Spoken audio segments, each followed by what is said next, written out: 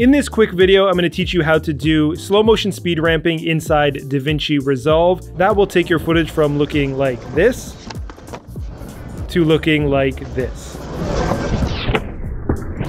And if you're new here, we have over 200 videography related videos on the channel, so lots of content for you to learn from. And if you're interested in any of the equipment or the music we use to make our videos, all links are in the description. All right, let's jump in.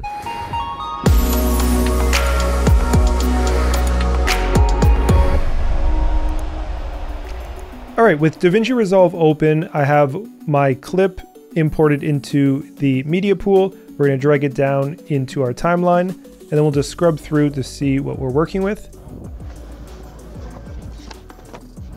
So right as the skateboarder starts to do the trick,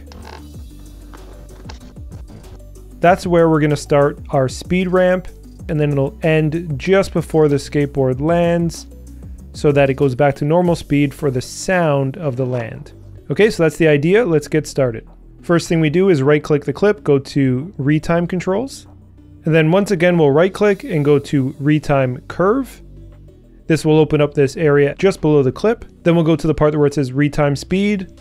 We'll show the drop down menu. We will take off the part where it says retime frame. That will leave us with just this straight line.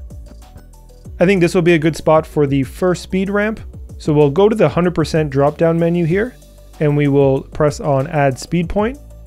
And then we will go just to before the trick is landed and we will add one more. You'll notice that if we play back this part, nothing has changed. And that's because we haven't actually made any speed changes yet. We've just sort of set up the start and end. To adjust the speed of this section, we will go to the top here and drag this out. And now when we play it back, you'll notice that at this spot right here, it instantly goes into slow motion. And then on this second point, it instantly goes back to real time. That looks good and we have accomplished our goal of slow motion, but we haven't done any speed ramping yet. Speed ramping looks a lot more dynamic and professional, and basically what it means is it slowly changes from your normal speed into your slow motion over a certain period of time, instead of just instantly changing like we have right here. So let's go down and click on the line. That will reveal these little points here so we can click on them. And then we're gonna change it from the straight line here to the curved. And then we'll do the same to the other side.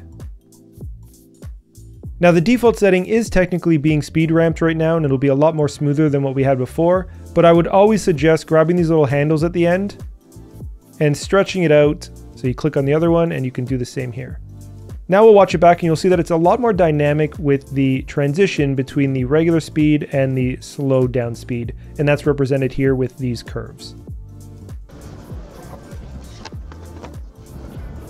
And then from there, if you need to make any micro adjustments, like you want to you know, change where the slow motion starts. So let's say you want it to start here. You can just go to the bottom here, drag over that, and then you are good to go. Or let's say at the end here, you don't want it to speed ramp as much. You can put that back to straight and really exaggerate that.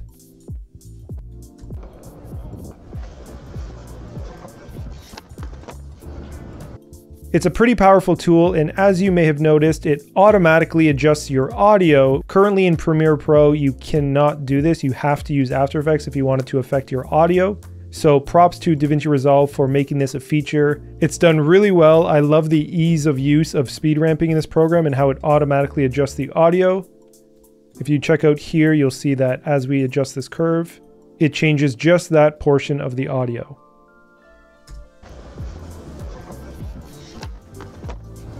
Alright, I hope this video was helpful to you on how to speed ramp footage in DaVinci Resolve with audio. Again, this is a much more dynamic way to make your slow motion clips look more professional by ramping the slow motion instead of just having a straight cut into the slow motion.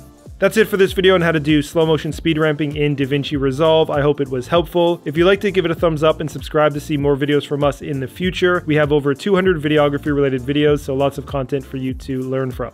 Thanks so much for watching and we'll see you next time.